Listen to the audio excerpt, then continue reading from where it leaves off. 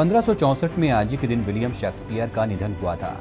William Shakespeare English कवि, नाटककार और अभिनेता थे, जो इंग्लिश भाषा के महत्वपूर्ण और प्रसिद्ध लेखकों में से एक थे। उन्हें इंग्लैंड का राष्ट्रीय कवि और बॉर्ड ऑफ़ एवन भी कहा जाता है।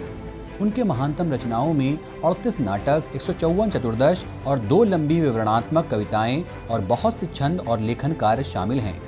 उनके नाटकों को कई भाषाओं में रूपांतरित किया गया था और बहुत से नाटककारों ने उनके नाटकों का प्रदर्शन भी किया था। शेक्सपियर की काफ़ी आलोचना हुई और उन पर संभ्रांत लेखकों ने खुद को बेहतर साबित करने का आरोप लगाया। Hamlet King Lear Othello, Macbeth जैसी रचनाएँ अंग्रेज़ी साहित्य में शेक्सपियर के नायाब नाटक हैं। अठारह सौ अट्ठावन में आज ही के दिन बिहार की ओर से प्रथम स्वतंत्रता संग्राम का नेतृत्व करने वाले महान क्रांतिकारी बाबू कुंवर सिंह का निधन हुआ था।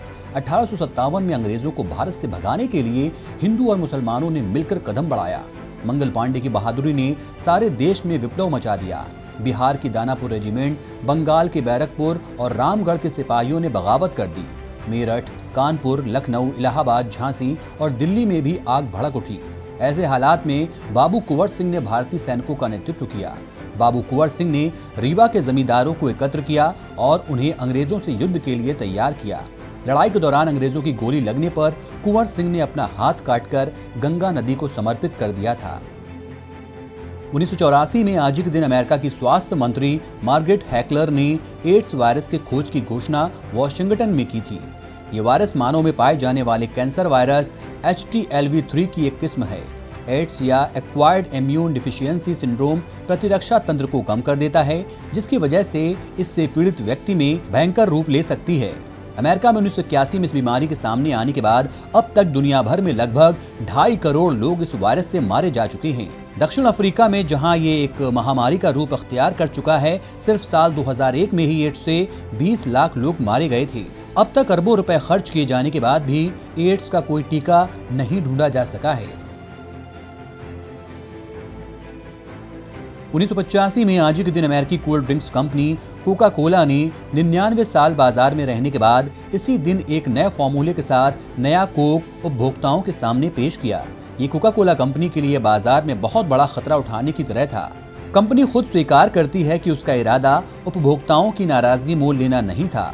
बल्कि वो उन्हें लोगों को एक नया प्रोडक्ट देना चाहते थे।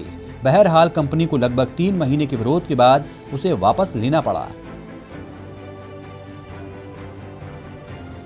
उन्नीस सौ बानवे में आज के दिन बॉलीवुड के मशहूर फ़िल्म निर्देशक सत्यजीत रे का निधन हुआ था। यथार्थवादी धारा की फ़िल्मों को नई दिशा देने के अलावा साहित्य चित्रकला जैसी अन्य विधाओं में भी सत्यजीत रे ने अपनी प्रतिभा का परिचय दिया था। साहित्य और बॉलीवुड में अपने योगदान के लिए सत्यजीत रे को भारत रत्न पद्म विभूषण दादा साहब फाल्के पुरस्कार से नवाजा गया था। और 2005 में आज के दिन पहला वीडियो YouTube पर अपलोड किया गया। YouTube एक साझा वेबसाइट है, जहाँ उपयोगकर्ता वेबसाइट पर वीडियो देख सकता है और वीडियो अपलोड कर सकता है। YouTube की स्थापना चैड हरले, स्टीव चेन और जावेद करीम ने मिलकर की थी। YouTube में पहला वीडियो जावेद करीम ने अपलोड किया था।